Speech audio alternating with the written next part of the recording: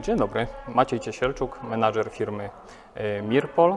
E, Dzisiaj znajdujemy się w Brukach Unisławskich, gdzie e, były stosowane nasze nawozy na plantacjach brokuła i kalafiora. Dzisiaj mam przyjemność przedstawić e, kilka z naszych e, nawozów. Pierwszy z nich jest to Rokohumin, nawóz e, płynny. Jest on e, stworzony w dwóch wersjach, wersja ekologiczna i wersja do gospodarstw konwencjonalnych.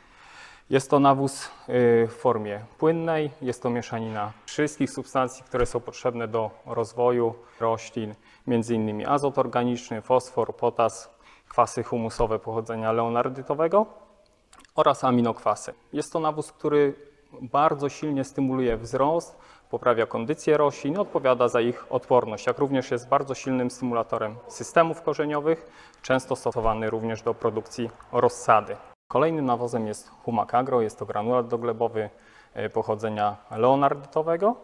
E, Akurat e, ten nawóz odpowiada za mocne podniesienie poziomu próchnicy glebowej, odpowiada również za odporność roślin, jak również poprawę warunków wodno-powietrznych. Jest to najsilniejszy stymulator korzenia, z jakim ja się spotkałem na rynku polskim. Mamy również, również w swojej ofercie dwa nasze nowe nawozy.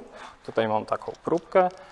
Jest to Calcium Carbo Forte 10 i Calcium Carbo Ultra 30. Oba te nawozy jest to mieszanina wapnia wysokoprzyswajalnego, jak również kwasów humusowych pochodzenia leonardytowego. Calcium Carbo Forte 10 jest to nawóz, który ma wyższy poziom wapnia, czyli stosujemy tam, gdzie chcemy zbuforować glebę, podnieść pH, jak również mocno odżywić rośliny wapniem. Natomiast Calcium Carbo Ultra jest to y, nawóz o podwyższonym poziomie y, kwasów humusowych. Stosujemy go wtedy, kiedy chcemy y, bardziej popracować nad glebą, również podnieść pH, ale bardziej też spowodować podniesienie próchnicy glebowej na danym polu. I warto wspomnieć też o naszym nawozie na rozkład resztek pożniwnych. Jest to biokompost. Biokompost jest to mieszanina dziewięciu szczepów bakterii plus dwie pożywki, kwasy huminowe i sapropel.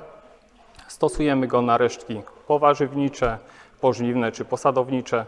Jest to produkt, który bardzo szybko działa.